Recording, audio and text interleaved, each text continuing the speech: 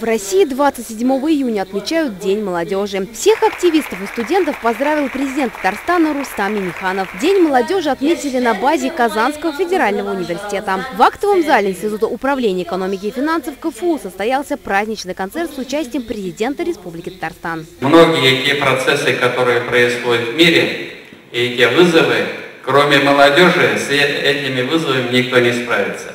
Молодежь должна быть опущенная, амбициозная, нацеленная на результат. Конечно же, молодежь – это конкурентность нашей республики. Мы гордимся вами, мы возлагаем на вас огромные надежды. Среди почетных гостей также присутствовали ректор Казанского федерального университета Ильшат Гафуров, министр по делам молодежи Республики Татарстан Дамир Фатахов, министр спорта Республики Татарстан Владимир Леонов и мэр города Казани Ильсур Медшин. Участниками мероприятия стали активисты, студенты и творческие коллективы Казани, а также победители Всероссийского фестиваля «Российская студенческая весна-2018». Напомним, что фестиваль проходил в Ставрополе с 15 по 20 мая. Он объединил 2700 студентов из 80 регионов страны.